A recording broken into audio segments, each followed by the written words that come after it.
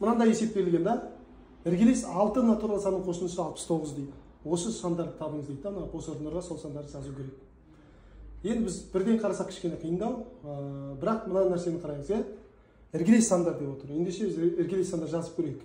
Мысалы іргелес сан деген бір екі үш төрт деген сандар иә? Мысалы бір қосу екі қосу үш қосу төрт қосу бес қосу алты деп көрейік. Мысалы алты натурал сан іргелес. Енді осылардың ең соңғы саны мен ең бірінші саны мен ең соңғы санын қосып көрейікші қанша болар екен? Иә алтыға бірді қоссақ қанша? Жеті болады. Екіге бесті қоссақ қанша болады? Жеті болады. Үшке төртті қоссақ қанша болады? Жеті болады.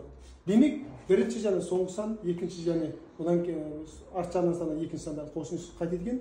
Барлығы ұқсас сандар шығады екен қосындысы онда бұл жерде тұрған қараңыз иә алпыс тоғызда дәл осы сияқты иә? Үш жұп сандардың қосындысы тең болғалы тұр ол үшін онда біз не істейміз? Алпыс тоғызды үшке бөлеміз. Сонда қанша болады? Жиырма үш болады. Ендеше мына жерде тұрған қараңыздар иә онда біз мына жазып көрейік. Мысалы мына сан иә? Мына сан және мына сан сосын мына екі сан. Барлықтарының қосындысы қанша шығу керек? Жиырма үш шығу керек. Мынауда жиырма үш шығу керек. Мынауда жиырма үш шығу керек. Демек алпыс тоғыз осы үш жұп жиырма үш сандардың қосындысына тең болып тұр онда ең қараңыздар ең біз тауып алатын жерімізге келдік ол жиырма үш. Мына екі санның қосындысы жиырма үш. Және олар іргелес. Онда мынау он бір болу керек мынау он екі болу керек. он бірге он екі іргелес сан қосындысы жиырма үш.